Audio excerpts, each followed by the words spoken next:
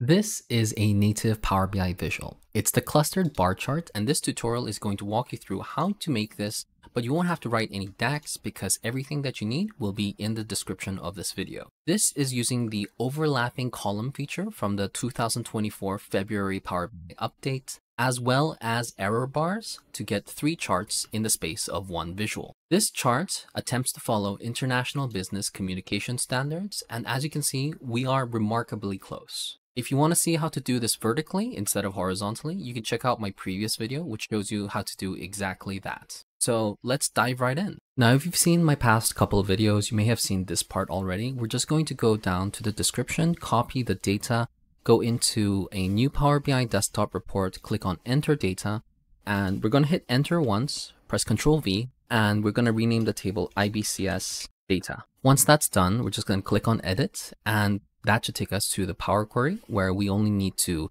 split by column by delimiter. Make sure the delimiter is comma, press OK, and then hit the Transform tab and click Use First Row as Headers twice. Once that's done, we're going to go to Home tab, close and apply, and we should have all of the data that we need. Now we're also going to bring in all of the DAX measures, and because I don't want you to write 29 different DAX measures, I just have them here. You can just copy all of these measures right now. And what you need to do is you need to Control C and go into a text editor like Notepad++. the reason for doing that is because this text actually doesn't have any operators, so greater than or less than operators, simply because YouTube doesn't allow me to put that in the description. So kind of a pain, but this 30 second, uh, you know, the transformation will save you a lot of time. So once you're here in Notepad++, press Control H and you can take all of the squares and make them greater than. Replace all, and then we're going to do the same for the black, black circles.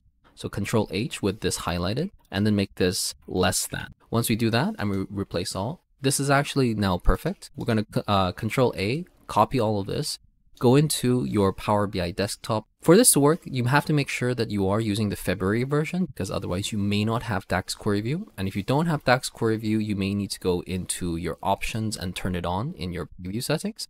So once you click the options, uh, you know, it's like button here, go to your preview features and it should be DAX Query View right here. Make sure that this is turned on for you. And once that's done, you can go to the DAX Query View right here and just paste it right in once you've pasted it in, there will be all of these different update model values. You just need to click on all of these. And once you do, you'll have all of the measures that you need in your data model. Now, while this seems like it does take a lot of time to just add these in, it, it will be less time than writing all of the measures. So I hope you're with me so far. Now that we have all of the measures that we need, we, all we need to do is just go into the report view and we're going to start making this visual. Select the clustered bar charts and you can basically start adding things to it. Now let's go in and try to understand the data before we do that. In the table view, you can actually see that the data itself is going to be month number, month 2022, which is going to be past year data, 2023, which is going to be present year data, and 2023 predictions, which is going to show data only for November and December. In this scenario, you're going to be in the mid-October, and even though month, because it's a continuous data value, is not something that you would normally use for a bar chart, I'm electing to use this dataset because that way people, if they want to use the previous video, the, the video that I made for the column tutorial, they can use the same datasets and a lot of the same uh, measures in order to make this bar chart.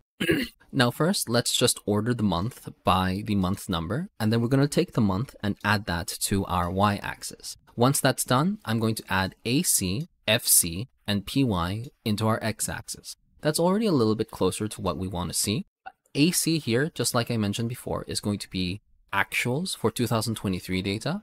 FC is going to represent forecast, it's, and it's going to be the 2023 predictions data. And PY is going to be show past year, so the 2022 data. Once we have all of these in here, oh, pardon, I think put AC twice, then we can actually start formatting already so that we can have a little bit of the information that we want to see. If you remember, this is what we're trying to achieve and the data we've just put in is going to be these bars right here. So let me make this a little bit wider and what we're going to do is we're immediately going to start formatting this. Open your format uh, pane and scroll down to bars and when you're at bars, make sure that you scroll with the series set to all to the overlap. If the series is not set to all, the overlap, which is in the layout section, is actually grayed out and you can't select this.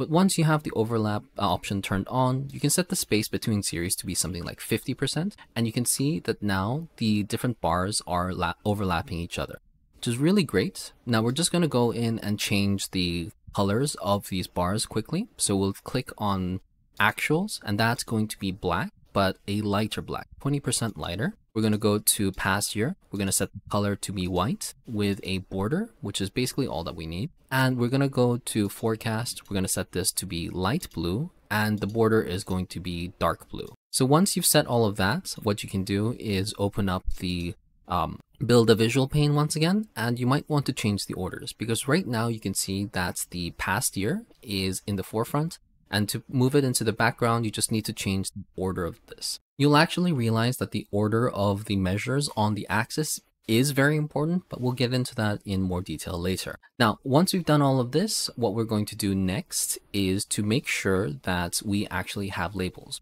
Now, there's a couple of different ways that you can put labels in.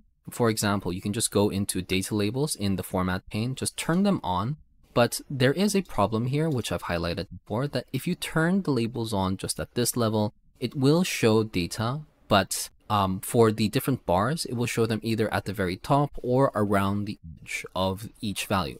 Some of these values can be a little bit harder to see, and there are options that you can use in the data labels. For example, you can add a background. I believe you can add a background to some of the, know, like labels, like so to make it a little bit easier to see, but due to the fact that they are just kind of here, it is a little bit obscured.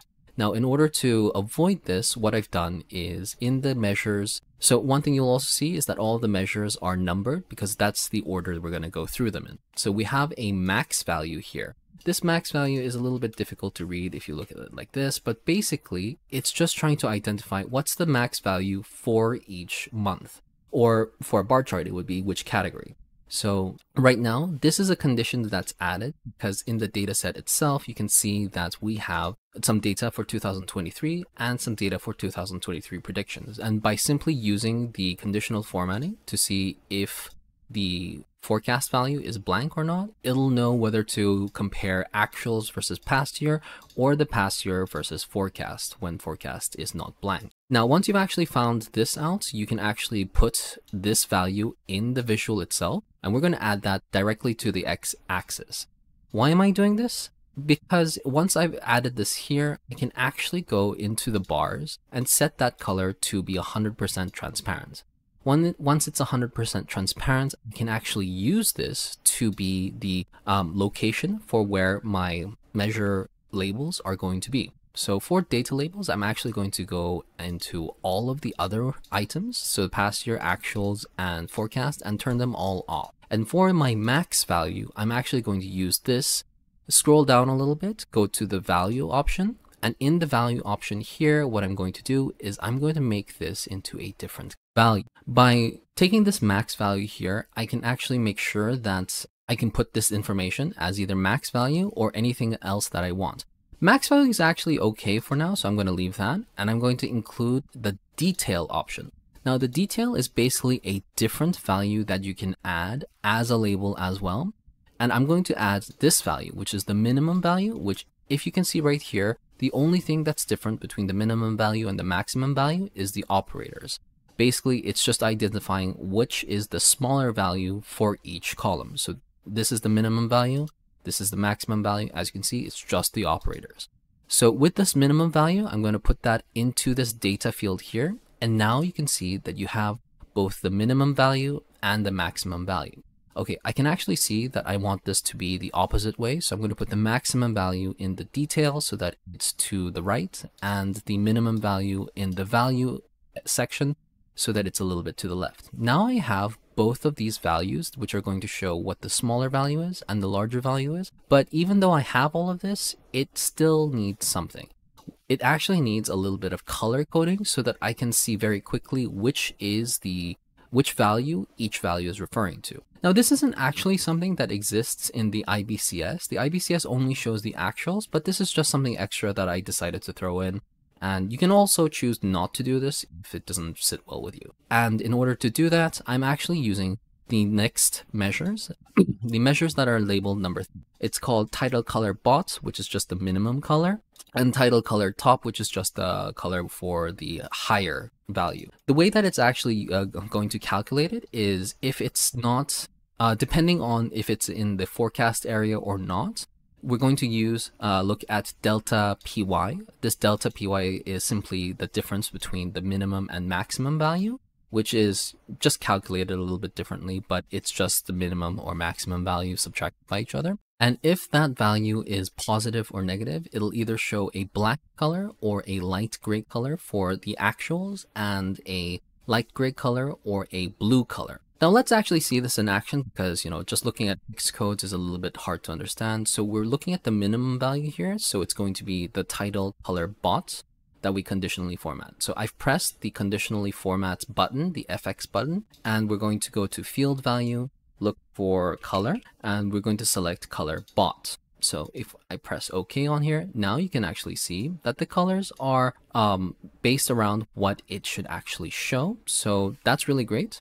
We're going to also go to the detail option, go to the FX conditional formatting color here, and make sure that this is the color for top. Now, once that's done, the color differences are a little bit subtle and that's the whole point because it you can't actually have white colors. Otherwise it'd be really hard to see on a white background. But this will be enough for us to actually be able to very quickly tell what these values are and it's not going to uh, be obscured in the set itself. Now the next thing to do is to make sure that we're actually going to be using the ACPY max value in the fourth section. Now the ACPY max value, which you see here, is actually going to be a calculation which is using the max x of all of the selected values and simply trying to find the max value. So what that actually means is, okay, easier if I show you what it looks like. If I throw this in here, you can actually see that the ACPY max value is simply taking the max of all of the values in the visual right now. Since that's the case, it means that I can use this not in the uh, value itself, but as a reference value in order to elongate the visual itself. Because as you remember, we're trying to get to here.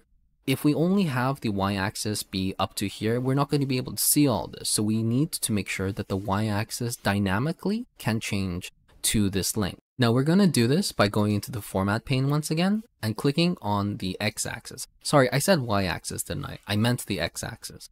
We're going to set the range to be 0, uh, the minimum range to be 0, and the maximum to be y-axis max. This is going to be not uh, a field value, which is going to be just axis max. We're going to put that in. And the reason we're using this is this measure is simply the max value of the column length multiplied by 4.8. It's an arbitrary value. I found 4.8 works really well in order to get to here. But of course, you can play around with this hard-coded value uh, to suit your needs. Now, once we've sorted that out, all we need to do is start looking at section 5. Delta PY is what we're going to be playing with. And like I said before, this is basically just the minimum value subtracted by the maximum value. Fine, but I wrote this before I wrote these other ones, so that's why it looks a little different. It's fair enough. Delta PY line, which is actually going to show these uh, differences between um, the forefront and the past year, is going to be actually very similar to the y-axis max. We need a specific value which will show the mid value. So this will be representative of this line right here. And in order to do that, basically what you need to do is you're going to put the delta py line in a reference line. The, refer the reference line, which is in the format pane, you're just going to click on add line. You can actually choose whichever line you want, almost like the min minimum line, the maximum line, the average line, and the median line, they will all work. So we're just going to select max line, and we're going to call this the delta py line. Now, in order to get the delta sign, click on your windows and semicolon, and you should open up this emoji, uh, you know, it's like box. It's a little hard to see because, you know, um, okay, let me like scroll down a little bit so you can see a bit better. So I'm going to click Windows and semicolon again, and you can see that there's this emoji uh, window that opens up. I'm going to click on symbols, and you can generally find the delta here. If you don't have it under recents, of course, you can just scroll through until you find Latin symbols because delta is, I think, a Latin symbol. Now, don't quote me on that. I don't remember exactly but it should be here somewhere and you should be able to find it. So if I go back and I just select the delta sign, I'm going to uh, put delta py as the line name and I'm going to make and you can see that the delta py line has now shown up here. That's uh, that's fine. This is actually just showing the max line of the series right now. But what I want to do is I want to make sure that the series is set to not any of these. I'm going to actually need to put the delta py line into the x-axis. And now the series that I want to use, delta py line, will be visible. We're going to also go back and make sure that the delta py line is transparent in just a second, but we can go to the line and make sure that the color is a gray and make sure that the style of the line itself is solid. We're going to put the position in front, that's fine. And we're also going to turn on the data label. And for the data label, we're going to call it, uh, how do you say it? Left, above, that's totally fine. If you choose right, then you can see that it just moves a little bit here and or there. We're going to keep it on the left. We're going to keep the position above. You do have the uh, option of putting it below instead of above, but I think above looks much better. And instead of the data value, we're going to put the name. And now you can see it's called delta py. We'll put the color as just solid black. and that's all we need. Now, in order to make this look a lot better, we're going to go back, close the reference line options, go back to the bars, and make sure that the delta py line bar is transparent 100%. And there you have it. This is basically what we're going to use. We also do need to make sure that the data label value for delta py line is turned off. And we have the line that is going to be used for this. Now this is actually really great because we can just go back here and start using this and put in error bars in order to show these, uh, you know, it's like extra lines on this chart. The error bars that we're going to use are actually going to be part of this uh, underscore five category. And there is actually something that you need to know right now, which is that unfortunately error bars do not have the option for conditional formatting. So if I put in just a bar right here, let me just show you quickly.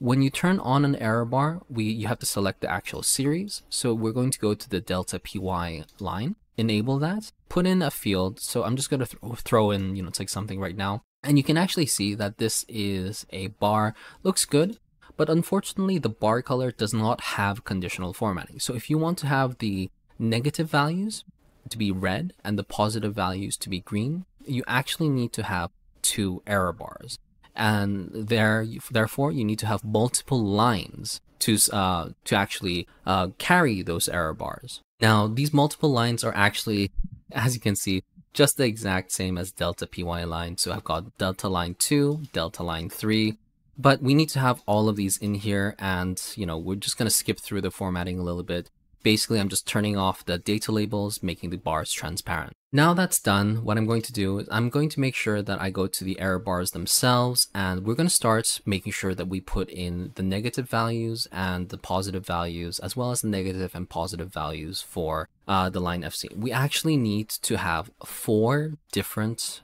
measures in order to pull this off.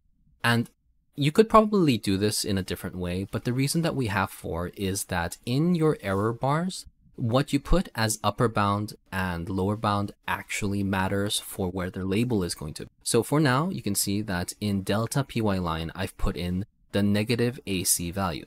Now this is just all of the values where the delta py is negative. So that means that the current year is greater than, pardon me, current year is actually less than, you know, it's like the past year. Uh, so you can actually see where the past year is the larger number for all of these values, it's actually going to show, you know, it's like this. But the interesting thing here is that if I remove this from the upper bound and add it to the lower bound, what it's going to do is still show exactly the same.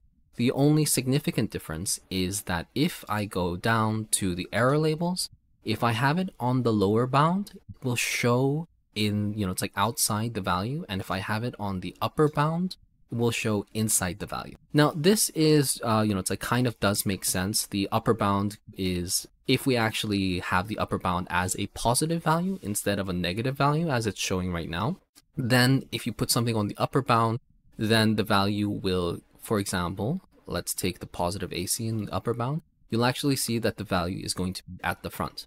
Now this is a little bit confusing to think about on a bar, but if you think about it from a a column point of view, if it's positive, if it's on the upper bound, the label is going to be above the actual point, and if it's on the lower bound, the label will be below the point. So using this, you can actually just go into negative AC, make sure it's on the lower bound, and That's all you need to know. The bar, we're actually going to change the color a little bit. We're going to make it red. We're going to make the width uh, size 10. And we're going to make sure that the marker is not there and that the border size is zero. Now, once we do this, we have a really nice, uh, you know, it's like bar, which is going to be great. You can choose to go into your error labels and match the color. Uh, you know, it's like uh, of the actual label to the bar. I choose to do this because I do like, you know, it's like how it looks, but you don't necessarily have to. I know that IBCS at the very least doesn't do that. We're going to continue onwards to delta line P2 in the error bars, and here we're going to add positive AC. Now, let's take this moment to actually talk about what uh, these values are. So for negative AC, so if you are in a, if the forecast is blank, so you're in a non-forecast period, and the difference is actually negative, then we're going to take this line right here, delta py line, and add the difference to it. So if this is negative, then it's going to, of course, in the red. And this is called delta py line negative AC. So for actuals, so if, you know, it's like this is blank, then it's going to show this here. The reason we do that is because we want the uh, forecast bars to be a different color. Uh, you can actually see right here, we want them to be blue. And in order to actually achieve different colors, it needs to be a different error bar every time. Now, if you weren't going to use these forecasting values, then you would actually not need to go to the extent that I'm going. You probably could just cut out two measures uh, here and another measure here. So probably take care of six different measures just off the top of this. But in any case, since we are trying to show you forecasting values as well, um, this is what the negative value is, and conversely, positive is only showing the one difference here. Okay, let me show this properly.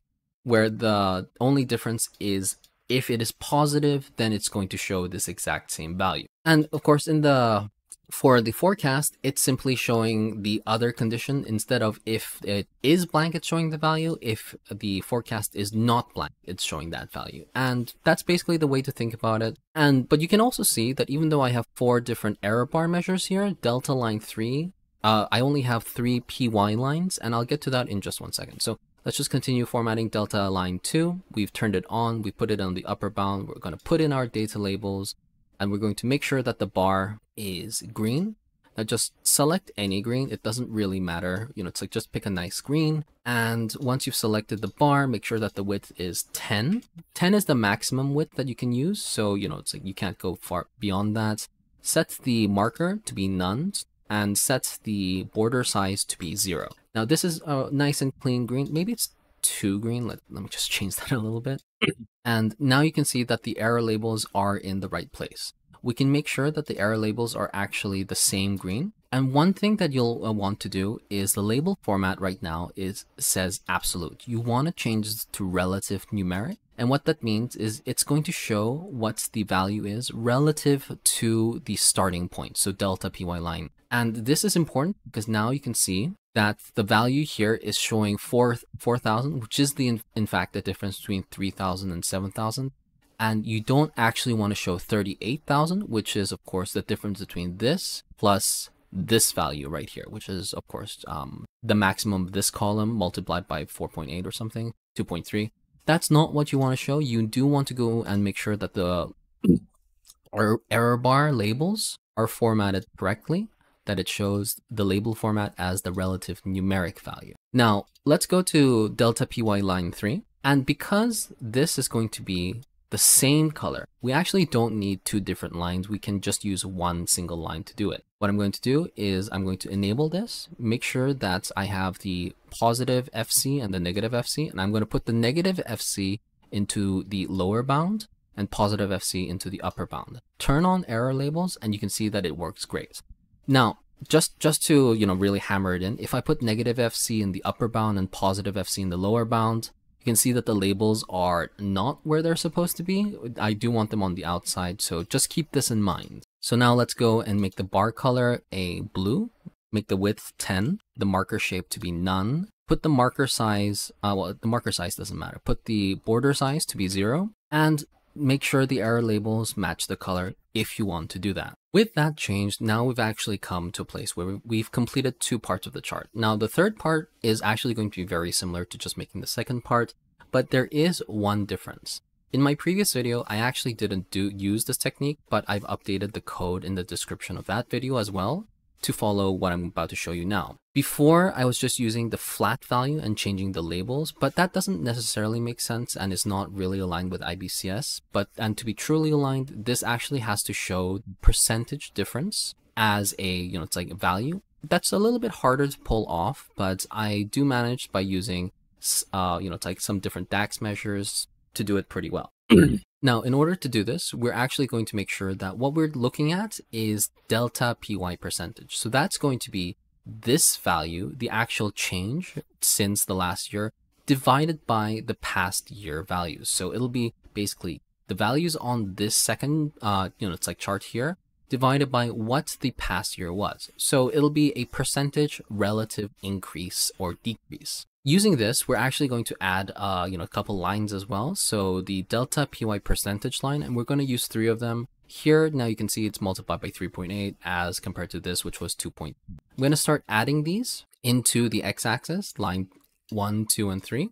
And I'm going to make sure I format them into be transparent with no data labels. Now that we've actually turned all of that off, what we're going to do is we're simply going to make sure that this actually has a reference line as well. So we're going to add another reference line. A nice thing to do is just click on the existing reference line, copy the name, because that's really what we're going to use. And once you've copied it, add a line, name it the same thing, but add a percent. Now you can choose whatever line as well, you know, max line, that's fine. Select the series delta py percentage line, make the line gray, not at all transparent, and make it solid. So, okay, so I think I did not change the transparency before, so let's just keep it at 50% to be aligned with this one. And include the data label, make sure that the color is black and that this uh the data value, the, the sorry, the style is the name. And now you can see you've got a delta py and a delta py percentage. Now close the reference line section, open up error bars, and we're going to slowly start adding error bars into this. Uh, basically what you got to think about is that here, the way that we're calculating the error bars are actually very, very similar. And basically what we're going to do is use three different items. The way that the error bars are calculated is almost identical to these different, uh, to what we used for delta py as for py percentage the only difference is that now we're actually not going to use the labels here. The reason for that is if we actually put in the labels, let me show you. If we go to delta PY percentage line and we put in positive AC, for example, we enable the options and we put in the error label. The error label, if we show it as a relative percentage, is going to show different values than what we expect because this is going to be a value that's relative to the past year percentage line. That's not actually what we want to show. What we want to show is what is the percentage increase or decrease of, uh, you know, what is this as a percentage of past year. So you can't you can't actually use error labels because you are not able to change the value here. So we actually have to use a slightly different workaround. So let's just start by putting in the bars because you're not using labels, it really doesn't matter if you put it in upper bound or, you know, it's like lower bound. Let's just go and do it. So now this is upper.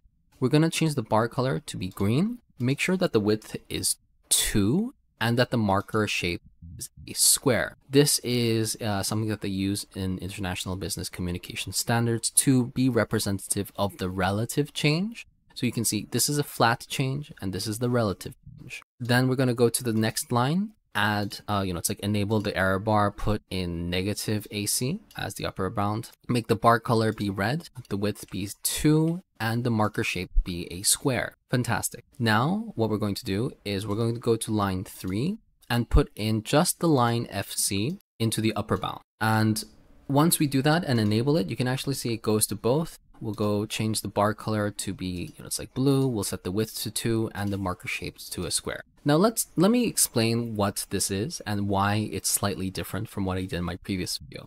So here, uh, let's take a look at the forecast value. If the forecast value is blank, so if it's supposed to be one of the actuals, it does, just doesn't show anything.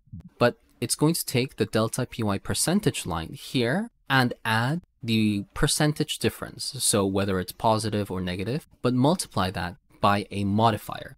It's called the percentage bar modifier and it's only used here and it's at the very bottom. So if we go and look at that, the percentage bar modifier, the way that it's working is it's actually taking the ACPY max, which is the value here, the maximum value of all columns, and taking the maximum value of all percents. So the max of all of the percentage differences and multiplying that by 0.7 the way that it's working is it's essentially trying to figure out how do we get the maximum length of this bar to be only as big as the maximum length of this bar. And in order to do that, it, you know, it's like this is the calculation that I came up with. 0.7 is here so that there is some space left over for the actual text. You could probably do away with this and make the whole length a little bit longer, but I've elected to do it this way and it works just fine. So with this bar modifier, we're going into the FC error bars length again, and we're just taking this line uh, length and adding the percentage of the bar multiplied by the modifier because this is a regular, um, you know, it's like a static length for each different column it's going to show the correct percentages here and there. But now the last part remains, which is to simply add the values to here. And in order to do that, you, I'm actually electing to do it in kind of a roundabout way because I can't add any new values to these bars. I'm going to go and add a new bar. It's going to be called delta label percentage vals. And this one's a little bit convoluted, but bear with me. If the basically what it is is it's going to take uh so maybe let's look at the bars. So if the delta py percentage is negative so if this is in the negative zone then it's going to show the delta py line percent here multi uh, multiplied by a small modifier to make space for a little bit of values plus delta py percent multiplied by, by the percentage modifier what this means is that if it's negative, the bar will come to just around here, just to, uh, you know, it's like before the bar to make space for the actual, um, you know, it's like label. And if it's positive, it's just going uh, to stop exactly where the bars are. And let's show you what that looks like. Looks like this. So you can actually see that uh, the data label here is exactly what I'm trying to do. So the data label just turns on automatically when you add something to the x-axis as a bar, and this is what I'm trying to do.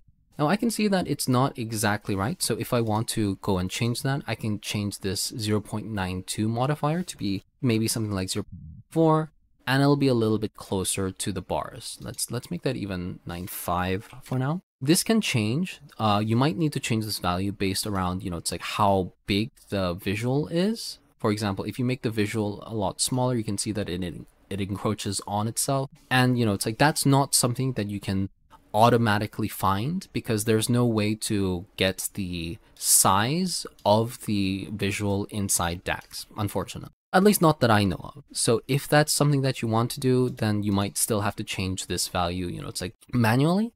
But once you do, uh, it will still go pretty naturally. Now, once that's done, we are going to make sure that the bar color is transparent once again. and once that is transparent, we're going to go into the data label, make sure that we select the percentage values. And once we're at the percent values, we have an actual label that I've decided to use. This label is going to be the delta py percent multiplied by 100. Now, going into this label, go, uh, you know, it's like make sure in the format pane, you go into the value, select this label and just drag it in. Once you do, you might see that it doesn't actually show any values. That's okay. Make sure the display units is set to none and that the decimal places is set to zero. And now you can see the label is showing the percent, which is going to be the relative percentage difference, which is the delta py percent, which is the delta py divided by the past year actual value. Now, this is, of course, one final additional thing, which is that if you want, you can use this label color. If it is forecast, it's going to be blue. If it's not forecast, depending on if it is positive or negative, it's going to show red or green. And you can use this in the conditional formatting of the data label in the field value and select that to color. And once you do that, the labels now will be colored similar to what, uh, you know, it's like the actual bars are. The final thing to do here is to close, okay, so I'm gonna close this panel for now, is to make sure that you turn off the legend. The legend, you know, it's like here because you have so many things, just doesn't make sense. And the workaround to actually add information that you want to show here about what these things are is to go into the title. So the title I'm just going to call IBCS multi-layer bar chart. And in the title section, you can turn on the subtitle. And this is basically what I like to do. I'm going to take the subtitle and I'm going to put in delta py. Uh, so I might I might do it this way. Uh, we're going to basically just use the emoji screen, and if you go to the emojis, you can actually select if you I believe this heart button right here. If you scroll down, there are circles and squares that you can use in order to put some uh, into make into making a fake legend. So these are some of the circles and here are some of the squares. I'm going to just put in these ones right here. And now that I have all the symbols that I need for the circle, I'm going to put in forecast. I'm going to press space twice in between, you know, it's like each item. So for uh, white, it's going to be past year, space, space. For the black one, it's going to be actuals space space and then I'm going to put in delta py space space as well as delta py percent. Now with this here you can actually see that uh, this is very very much a fake uh, legend but it works in order to show people what these different values mean. You may also of course want to go into your actual x and y axis and turn off the you know it's like values and title and it just looks a little bit cleaner you might want to do the same for y-axis, but depending on what you put in there, maybe you don't. And that's the video. I really hope that you learned something new today. Um, if you've already seen my previous column charts video, I apologize. Maybe this a lot of this was very similar in content, but I hope at the very least that you were able to really understand why I'm using all of the different measures this isn't for everyone, I do recognize that, but if you ever do need to make this in, at work, I really hope this video helps you out. Thanks for watching, Take care.